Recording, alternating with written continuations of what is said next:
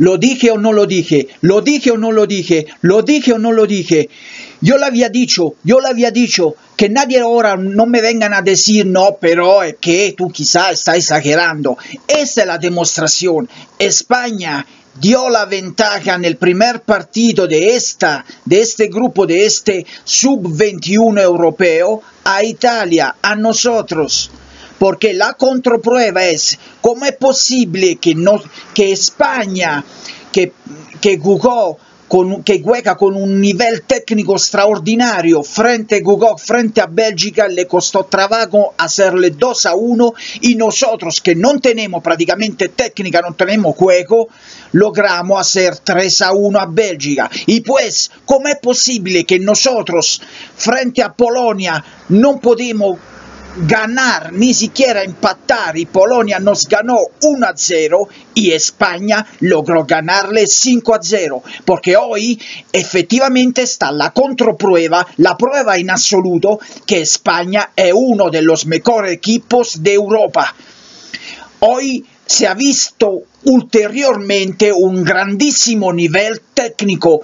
Hoy España le hizo bailar el samba a la Polonia, le hizo bailar el samba flamencado. De verdad, España tiene eh, el, el, eh, es digna de, de, tener el nombre de Furia Roja, porque sí, de verdad fue una Furia Roja, una máquina bestial, fue un ejército. Estaban allí que tenían el control absoluto de su potencial técnico no le permitieron a, los polacos de poder jugar. Todas triangulaciones, juegos fantásticos, incluso con un dominio, un control del balón. En el, en espera, incluso no perdían el balón los españoles más de una vez, hacían un control. Ta, ta, ta, sin perder el balón, sin perder el balón nunca con grandes acciones. Para aquellos que no se han dado cuenta, para aquellos que no se han dado cuenta, el campo donde jugó hoy España contra Polonia estaba lleno de agua. Estaba lleno de agua, era un charco.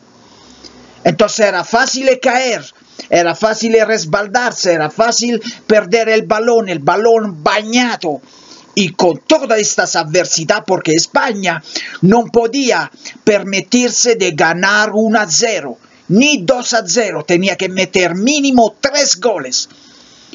Y no obstante que el otro partido, que a mi juicio Italia-Bélgica es sospechoso, es otro partido sospechoso, no obstante esto, no obstante esto, cuando Italia metía un gol, España lograba seguir metiendo goles y goles y goles. Cinco, cinco grandes goles, obras de arte. Ningún de estos cinco goles fue un gol así fortuito de regalo, no, fueron cinco goles de alta maestría goles incluso travesaños y contratravesaños, acciones y contracciones, una más bella de la otra, desde cuando empezó el partido hasta el final, jugadas fantásticas. España no tiene duda, no está duda que España tiene el pasaporte para poder ganar este europeo. Los únicos equipos que pueden lograr ganarle eventualmente a España, los únicos equipos que pueden enfrentarse con este grande técnico de equipo son solamente Francia y Alemania. Por lo que he visto, solo Francia y Alemania tienen un nivel técnico que camina con lo que, con lo que tiene España. España tiene un juego fantástico, parecía Brasil. Parecía un equipo de Brasil, fantástico hicieron jugadas maestosas. La España eh, psicológicamente estaba ya con una grande dificultad, un grande muro, porque no podía solamente ganar 1 a 0.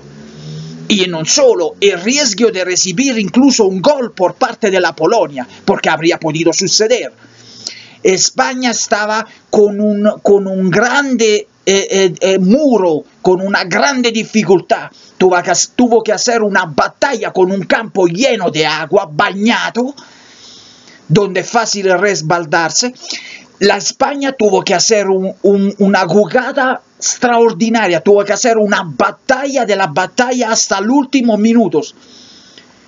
Y lo logró, lo logró. La cosa impresionante que se pasó, fue más allá de, lo que era, eran su posibilidad. Yo había dicho que tres, cuatro, la España llegó a ser cinco 5 a 0, una España magnífica, maestosa. Este partido para mí es un partido que va tenido en colección, es una historia.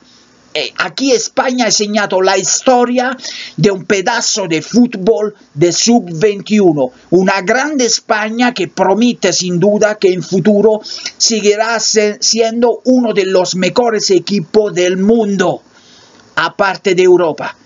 No cabe duda, de verdad, una grande España. Y, ahora España está en semifinal y ahora España tiene grandes posibilidades de poder ganar este europeo.